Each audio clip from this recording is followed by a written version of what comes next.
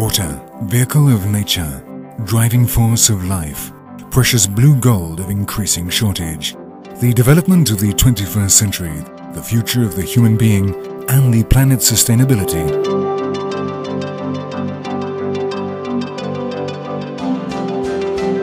Depends on the administration of water. Water is in the sea, and knowing how to extract it for the human and industrial consumption becomes the safe conduct to life. Desalination, a technique consisting in removing the salt from water, is one of the best choices for the present and for the future.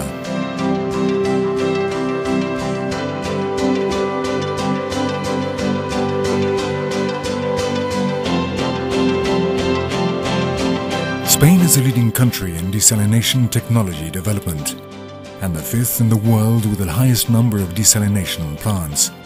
It has been obtaining water from the sea for over 30 years. Spanish technological experience has been useful to increase the energetic efficiency and to turn the 700 working desalination plants into a profitable and inexhaustible source of resources. 500 million people all over the world suffer from almost complete shortage of drinking water and it is estimated that there'll be 2.5 billions in the year 2025.